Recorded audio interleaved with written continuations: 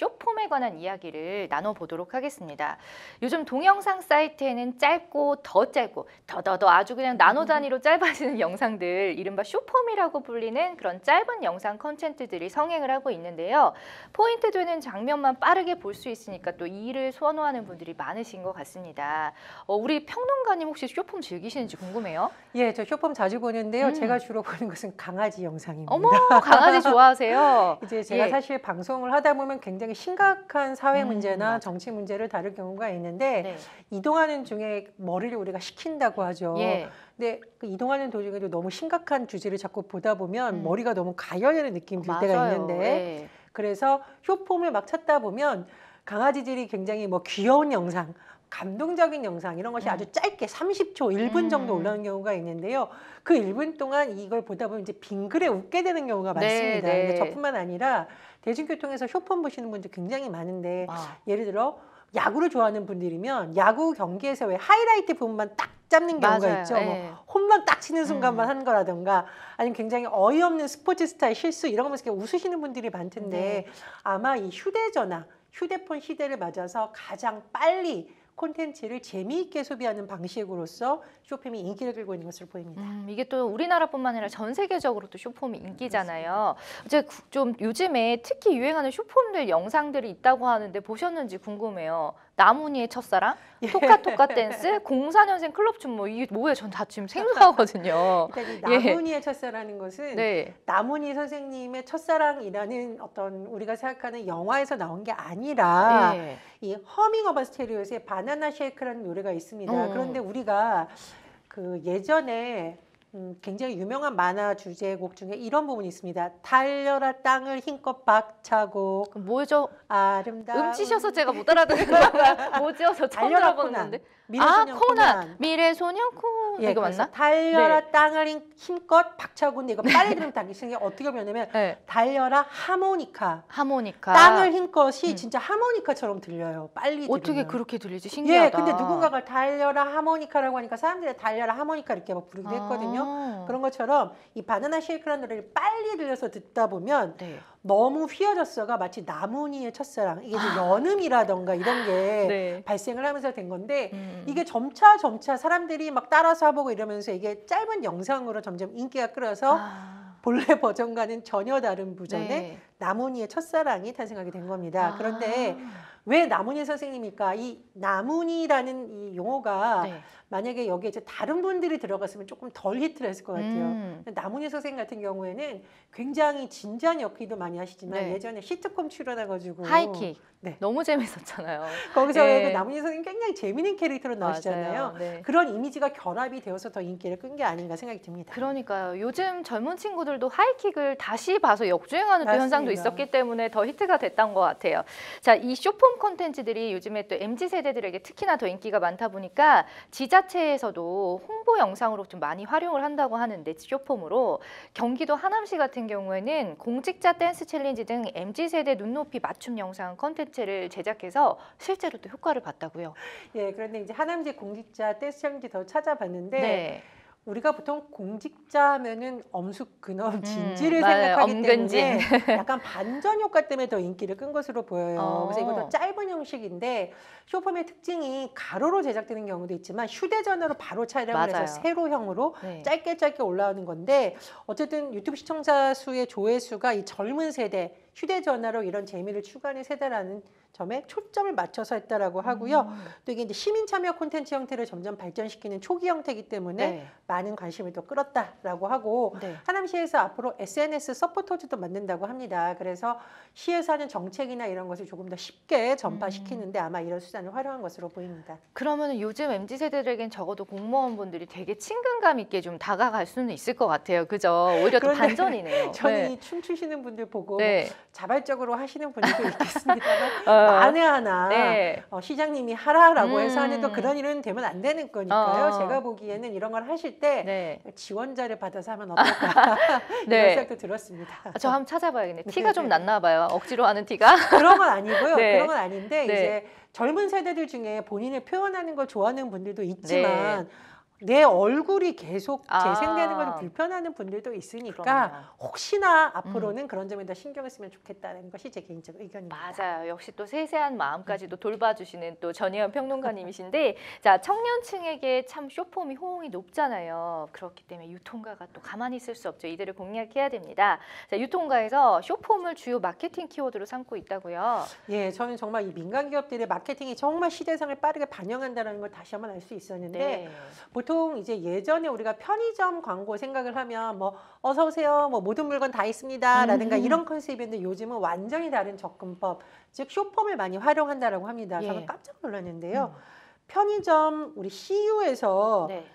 드라마 형식의 쇼폼을 올린 겁니다. 어. 그래서 편의점 고인물, 편의점 뚝딱이인데 네. 이게 짧은 짧은 짧은 형태로 하나의 스토리를 담고 있습니다. 예를 네, 벌써 웃겨요. 네. 뭐 그 거기서 어떤 러브 스토리 이런 것도 생각을 할 수가 있는데 네. 그것도 있지만 왜 편의점에 보면 특이한 고객들 있잖아요. 예, 예, 다 있죠. 어딜 가나. 원 플러스 원이라고 해서 들어왔는데 소주는 원 플러스 원을 왜 안 해요? 라고 아, 막 항의를 합니다. 어. 그래서 직원이 안 한다고 설명하면은 이분이 나갔다가 음. 좀 이따가 어떤 고객이 할머니가 들어오셔서 나 껌을 다섯 개나 샀으니까 하나만 더 줘. 막 음, 이런 약간 애환도 어. 담겨 있기도 하고. 슈퍼처럼. 예, 이제 재미있는 네. 스토리들이 이제 편의점들이 음. 많이 활용을 하고 있어요. 근데 조회수가 굉장히 높다. 어. 그러니까 당장은 이 매체가 이 어떤 편의점이 좋다 나쁘다라기보다는 계속 소비자들이 관심을 갖게 되면서 자연스럽게 인지도나 또 호감도가 올라갈 수 있잖아요. 그렇죠. 그런 것으로 보이고요. 또 가발 제조 업체에서 네. 부럽지 않아. 아, 이게 약간 패러디에서 옮기는 네. 것이고요. 또 GS 리테일도 이런 것을 하고 있습니다. 음. 또 가장 민감한 곳이 패션 업계죠. 그래서 네. 패션 업계도 많은 쇼츠를 제작하고 있다라고 음. 하는데 이게 하다 보면 이 채널에 보통 한두 번보다 재밌으면 우리가 구독을 하게 되잖아요. 맞아요. 그래서 구독자 수가 또 굉장히 많이 올라가고 있다 이런 소식도 들립니다. 아, 그러니까 정말 빨리빨리 변화하는 것 같습니다. 자, 홍보 수단까지 됐는데 이 쇼폼이 워낙 인기가 많다 보니까 당연히 또 홍보 수단으로 자리 잡았겠죠. 네. 그렇습니다. 사실 우리가 이제 전통적인 미디어라고 하면 신문 방송 그리고 신문과 방송을 통한 광고가 전통적인 광고로 여겨졌는데 네. 요즘은 보다 젊은 세대, MZ 세대라고 하죠. 네. 젊은 세대들이 주요 소비층인데다가 앞으로도 이 사람들이 계속 주요 소비층이 될 가능성이 높다 보니까 예. 이 세대가 어떤 매체를 많이 활용하게 될까? 아, 휴대전화더라. 음. 휴대전화를 통해서 무엇을 볼까라고 했더니 쇼폼을 많이 소비한다라고 생각을 해서 이렇게 된 것 같습니다. 그래서 음. 점점 홍보로서의 이 어떤 영향력은 커질 것으로 보이고요. 네. 어, 그리고 이제 젊은 MZ 세대의 특징으로 보통 우리가 세 가지를 꼽습니다. 네. 솔직함, 솔직함. 짧음, 음. 병맛. 병맛. 아, 이건 제가 한 것이 아니라 네. 90년생이 생이 온다라는 책에서 정리한 어, 내용이에요. 약간 병맛이 B급 정서가 들어가는 그렇습니다. 그 부분이죠. 예. 그러니까 제가 이제 아까 그 남은희 선생님 얘기를 했는데 네. 남은희 선생님이 인기를 끈 게 근엄한 어른, 뭐 손자 손녀를 막 가르치는 이런 모습이 네. 아니라 약간 철없고 어떤 때 보면 이제 할아버지의 관심을 끌기 위해서 약간 네. 좀 독특한 맞아, 발상을. 하기도 하잖아요. 맞아요, 맞아요. 그런 점 때문에 B급 정서가 있는 것이고 음. 또 하나 솔직하다라는 건 뭐냐면 기업이 너무 소비자들을 속이려고 거창하게 하면 이게 소비자들 우리가 반발 같지 않습니까? 예. 그래서 그런 것을 제거한 거고 제일 중요한 것은 짧음, 단순해야 된다는 겁니다. 아. 휴대전화를 사용하거나 디지털 세대의 특징이 디지털 세대 자체가 워낙 짧은 영상이라던가 텍스트보다는 영상에 익숙한 세대거든요. 네. 그러니까 줄임말 요즘 굉장히 많죠. 많죠, 너무 많죠. 왜냐? 어. 우리 휴대전화로 문자 보낼 때 길면 쓰기 너무 힘들잖아요. 힘드니까. 그래서 알았어도 아니고 이응 이응 어, 응응 오, 오. 뭐어오오 그리고 뭐 줄임말 하는 것도 다 네. 사실은 같은 문화라고 하거든요. 네. 이세 가지가 결합된 게 바로 쇼폼이라고 생각을 하고요. 음. 그래서 앞으로도 점점 더 쇼폼의 영향력은 커질 수 있다라고 네. 전망이 됩니다. 사실 저희가 MZ 세대, MZ 세대 하는데 저도 그 MZ 세대 완전 초반에 이- 막 걸려 있어요. 이게 그렇습- 밀레니얼이니까. 그렇습니다. 그런데 저는 제가 MZ 세대라고 생각하지 않거든요. 왜냐하면 이 따라가는 게 너무 힘들고 그리고 저도 이제 꼰대가 됐다라는 생각이 막 드는데 이제 좀 받아들여야 될 것 같습니다. 이게 너무 자연스러운 현상이기 때문에 자 인기가 어쨌든 계속 높아지면서 소셜 네트워크의 플랫폼 간의 숏폼 경쟁 또한 치열해지고 있다고 합니다. 또 전문가들 사이에서는 숏폼의 열풍이 앞으로 더 확대가 되고 메타버스라든지 대체불가 토큰 즉 NFT와 같이 접목되는 형태로 쭉 발전할 것이다라는 얘기가 나오고 있다고요. 그럼 이게 가능성이 계속 무한한 거네요. 어쨌든. 그렇습니다. 우리 예전에 TV에서 재밌는 드라마라던가 이런 거 보려면 다시 보려면 네. 재방송하는 시간이 있었어야 예, 되잖아요. 예. 근데 사실은 요즘은 뭐 여러 가지 플랫폼을 통해서 그 콘텐츠를 우리가 소비하기도 하고요. 음. 더 재미있는 것은 이걸 짧게 줄여가지고 한 또 파생 영상이 나오고 있습니다. 아, 그 영상을 더 짧게 줄여서 예를 들면 이제 드라마 더 네. 글로리다. 네. 그럼 문동은 사이다 발언에서 30초짜리 영상을 어. 누군가가 올리는데 조회수가 엄청나게 많은 경우도 있거든요. 어. 그래서 이건 기존 매체와의 경쟁 관계냐, 보완 야. 관계냐, 지금 여러 음. 가지 영향력이 나오고 있는데 어쨌든 쇼폼은 점점 늘어날 것이라는 것이 대다수 네. 전문가들의 예측이고요. 네. 이외에는 말씀해 주셨듯이 NTF 기술과 쇼폼이 결합될 수도 있다라는 겁니다. 음. 그래서 어, 여러 가지 형태로 이제 발전할 것이라는 전망도 나오고 있고요. 네. 또 쇼폼이 ESG, ESG라는 것은 환경, 사회, 지배 구조. 그래서 뭐 기업이라든지 모든 것들이 이윤 추구만 하는 것이 아니라 네. 지속 가능한 사회라든가 사회 구성원으로서의 책임을 다하는 활동을 말하거든요. 음. 그런 부분에 있어서 또 쇼폼이 좀 긍정작용을 할 수 있지 않겠느냐는 네. 생각이 드는데 네.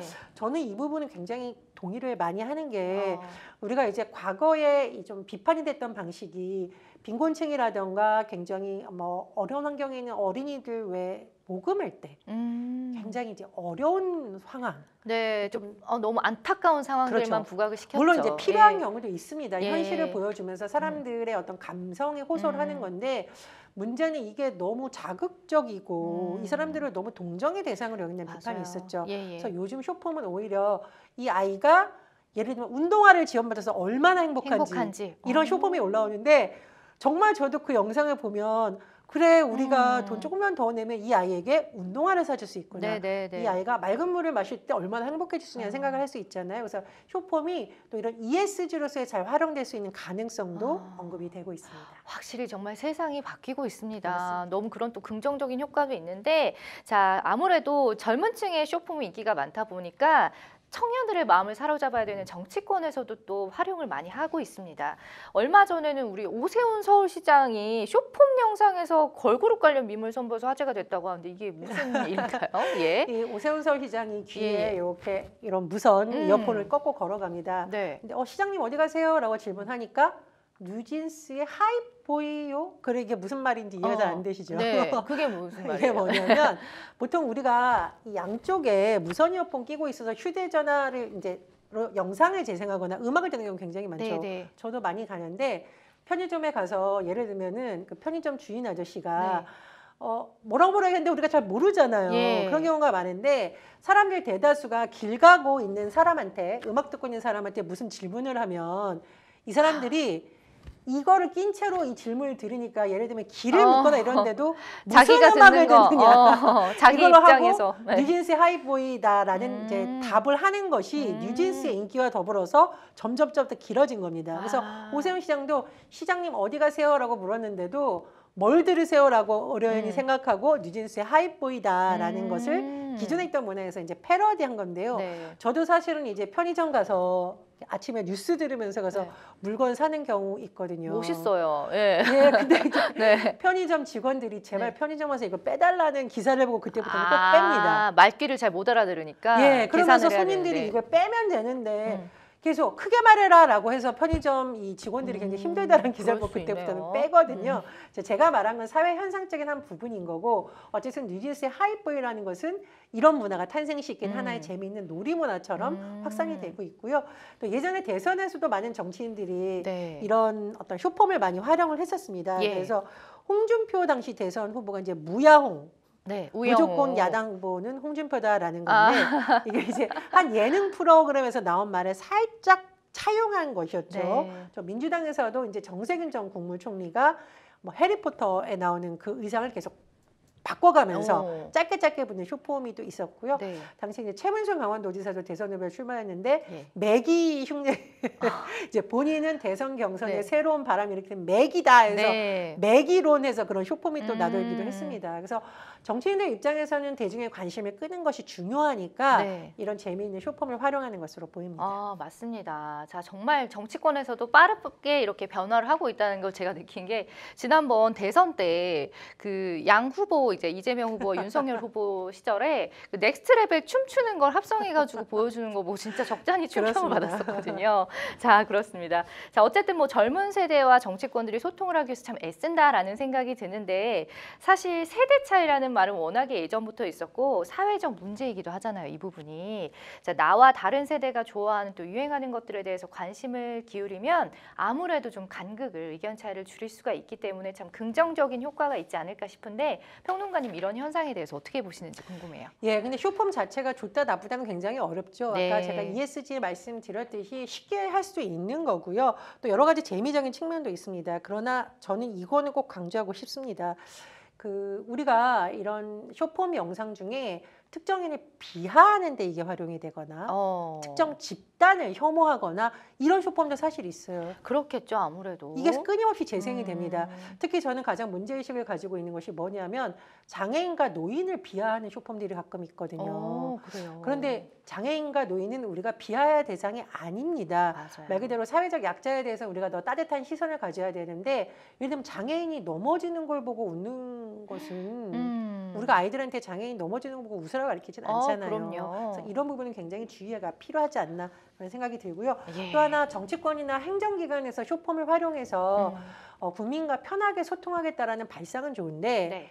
이게 진정성이 없으면 오히려 비판을 받을 수가 있겠죠. 예. 왜냐? 정치나 행정은 세금에 의해서 움직입니다. 세금이 제대로 쓰이고 있는가를 잘 설명을 해야 되지 본인의 다음 선거를 위해서 너무 악용한다 이런 비판이 나올 수도 있거든요. 음. 그래서 그런 부분도 주의해야 될 것으로 보입니다. 맞습니다. 정말 진정성 있게 제작하면은 다 알아봐 줄 거고, 그죠? 어쨌든 그 쇼폼에 대한 얘기를 저희가 잘 나누고 있는데, 어쨌든 뭐 양날의 검은 어디든지 있는 거니까요. 자, 그런데 그 유행하는 밈이나 또 관심 받고 싶어하는 마음이 잘못된 길로 빠지는 경우도 있다고 합니다. 요즘에 또 관종이란 말 많이 하잖아요. 관심 종자의 줄임말이고 관심을 받고 싶어서 위험하거나 또 비난받을 만한 행동을 하는 경우도 있다고 하는데 일본에서 고등학생이 지하철이 닫히는 그 문 사이에 일부러 몸을 끼워 넣는 영상을 SNS에 올리는 게 지금 유행을 하고 있다고요. 이게 왜 유행을 하는 걸까요? 아, 학생들 입장에서는 아마 네. 이게 우리가 좀 재밌게 하다 보면 사람들이 많이 봐주니까 음. 그랬으면 좋겠다는 생각을 한것 같은데 네. 우리가 왜 이 지하철 딱 달릴 때 뭔가 장애물 있으면 다시 열리잖아요. 예, 예. 근데 이때 지하철문에 딱 갈렸을 때 사람들의 어떤 표정이나 행동이 가지가지일 거 아니에요. 음, 그렇죠. 그게 보는 사람으로서 웃긴 경우도 물론 있을 수가 있는데 그거를 이제 일부러 하는 것이 한동안 유행이었다는 아. 겁니다. 그래서 학생들이 지하철에 문 끼고 어 이렇게, 이렇게 뭔가 우스꽝스러운 표정 짓거나 네, 네. 이런 것이 한테 유행처럼 떠돌다 보니 음. 문제가 된 겁니다. 문제는 뭐냐면 철도는 한 번 이 한 곳이 지연이 되면 다음 철도가 영향을 받을 수가 있고요. 그렇죠. 또 충돌 사고 위험도 있는 것이고 네. 문이 열렸다 닫혔다 열렸다 닫혔다 하면은 빨리 지금 어디 가야 되는 승객들은 음. 굉장히 불편을 겪을 수도 있잖아요. 네. 그래서 이런 자극적인 쇼폼은 좀 문제가 있다라는 지적도 나오고 있습니다. 맞습니다. 이건 또 병맛의 나쁜 예인 것 같아요. 맞습니다. 예. 자, 특히 청소년들이 이런 부분에 대해서 찾아보고 또 걱정하고 뭐 모방을 할까봐 정말 우려가 되는 부분인데 특히 중국의 동영상 플랫폼 틱톡 정말 전 세계적으로 유명하잖아요. 이 쇼폼 콘텐츠가 미국 몬테나주에서는 그 금지하는 법안이 통과가 됐다고 합니다. 어찌된 일인가요? 이 틱톡의 경우에는 전 세계의 뜨거운 감자라고 해도 과언이 아닌데 네. 왜냐하면 이제 틱톡 자체가 그냥 하나의 재미있는 놀이문화처럼 번지는데 그걸 뭘 규제하냐 이런 의견이 있고요. 일부 국가에서는 이 틱톡이 음. 개인정보 침해라든가 어. 보안을 어떤 해치는 기구로 보는 시- 의선이 있습니다. 예. 미국 몬테나주 의회에서 틱톡 사용 금지 법안이 통과된 배경의 이만에는 뭐냐?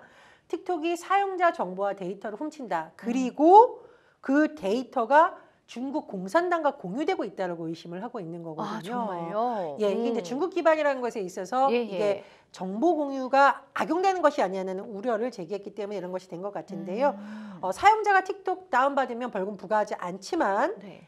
앱 스토어나 틱톡이 이런 경우를 한다.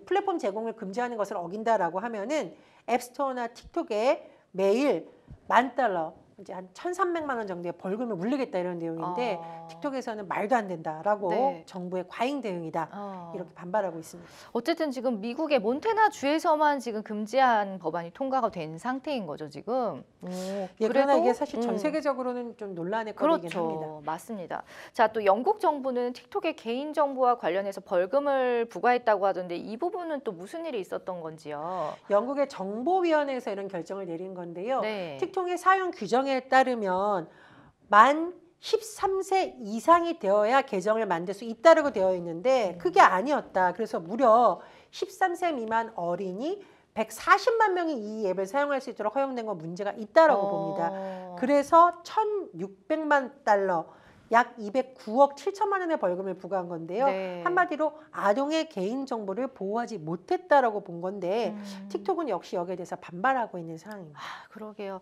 참 제가 진짜 확실히 꼰대라고 느끼는 거는 우려가 될 수밖에 없는 부분이 이게 또 너무 어린 아이들에게 노출이 되다 보면 되게 자극적인 것들이 아무래도 인기가 많기 때문에 굉장히 뇌에 많은 영향을 미칠 것 같아요. 실제로 얼마 전에 그 강남 쪽에서도 자꾸 그 어린 아이들을 상대로 좀 안타까운 일이 많이 지금 벌어지고 있는 상황 이어서 이 부분에 대해서도 저희가 좀 기회가 되면 얘기를 좀 나눠보면 좋겠다는 생각을 해봤습니다. 자, 몇몇 국가들이 안보 위협을 이유로 정보 기기에서 틱톡 사용을 금지를 하고 있죠. 자, 우리나라 정부는 좀 여기에 대해서 미온적인 태도를 보이고 있어서 또 이 또한 또 비판을 받았다고 합니다. 예. 이거 좀 양면성이 있습니다. 예를 들면. 미국이나 캐나다, 아까 영국 같은 경우에는 잘 보셔야 될 게 정부 기기에서 틱톡 사용을 금지를 하게 음. 있다라는 거죠. 그러니까 기본적으로 이 시선의 배경에는 중국이 틱톡을 활용해서 공공 정보를 말하자면 뭐라고 해야 될까요? 해킹 수준으로 빼가는 거 아니냐. 아. 이런 의심을 갖고 있는 음. 겁니다. 그리고 공공 기기, 정부 기기는 기본적으로 그런데 사실 저의 경험을 좀 유출해 보면 네. 이런 걸 잘못 갈게 합니다 내부적으로. 아. 왜냐하면 우리가 많이 쓰는 어, 깨톡, 네. 예, 깨톡 음. 쓸때 별걸 우리가 다 왔다 갔다 전송을 그렇죠. 시키잖아요. 맞아요. 그런데 공공기관의 컴퓨터 같은 경우에는 거기에 온갖 공문서들이 저장이 되는 경우가 있죠. 음. 근데 공문서의 특징이 뭐냐면 대중에게 아직 공개되지 않은 미결정 사항의 공문이 들어갈 수도 있고 그럼요. 개인 정보가 들어갈 수도 있는데 네. 이게 만약 우리가 어, 그- 그걸 깔아놓고 개인적인 대화를 하다가 자기 사진 보낸다는 게 파일을 잘못 첨부해서 공공기관에 문서가 유출됐을 경우에 굉장히 큰 혼란이 일어날 수 있기 네. 때문이거든요. 그런데 이제 영국이나 미국 같은 경우에는 틱톡으로 사람들이 어 이거 재밌어 한번 공유하자 뭐 음. 대화하다가 이런 공공 정보가 중국으로 넘어갔을 경우에 굉장히 큰 위험이 있다. 어. 이런 인식이 깔려져 있는 것으로 보입니다. 그러니까요. 다만 우리나라 국정원에서 틱톡이라고 딱 한 것이 아니라 네, 네, 이 공문에 뭐 어떻게 되어 네. 있느냐 음. 모든 업무용 기기 단말기에 업무상 불필요한 소프트웨어 설치를 금지한다인데 음. 아마 틱톡을 염두에 둔 것이 아니냐 그런 해석이 나오고 있는 상황입니다. 그렇죠. 워낙 파급력이 크다 보니까 제가 또 얼마 전에 우리 또 생생법률쇼에서 CIA 그 감청에 관한 얘기를 했기 때문에 이런 부분을 좀 더 보완을 철저히 해야겠다라는 생각에는 저도 어느 정도 좀 동의를 하게 됩니다. 자, 정부 입장 변화가 있을지 좀 지켜봐야겠고요. 쇼폼 콘텐츠가 1, 2분 정도인데 한두 개 봐볼까 하다 보면은 어느새 정말 중독이 돼가지고 한두 시간 훌쩍 지나고 또 밤을 새게 되는 경우도 있는데요. 자, 디지털 그래서 디지털 마약이라고까지 불린다고 합니다. 어, 특히 어린아이나 청소년에게 정서적이나 지능적으로 안 좋은 영향을 끼칠까 봐 아까 제가 또 걱정이 된다고 또 말씀을 드렸었는데 어, 삶의 질 하락 같은 좀 문제들에 대한 위기의식도 있습니다. 일상도 좀 더 자극적인 것만 보다 보니까 지루하다고 느낄 수도 있고요. 예. 그런데 사실 이게 쇼폼 의 잘못이라기보다는 네. 휴대전화가 우리 일상에서 너무나. 많은 영향을 미치는.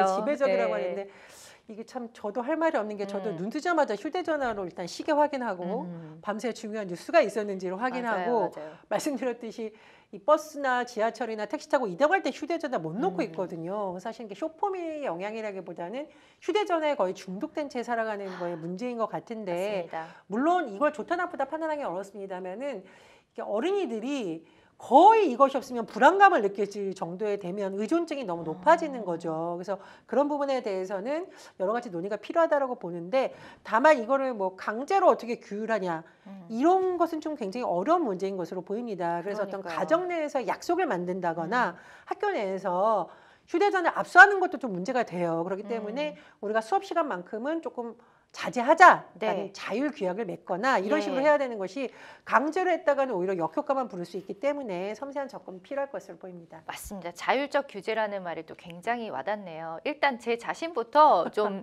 어, 정신을 차리고 좀 어느 정도 규- 뭐 30분 이상 보지 않게 막 이런 바- 좀 정해 놓고 자식한테도 또 본보기가 돼야 되지 않을까 이런 생각을 해봅니다.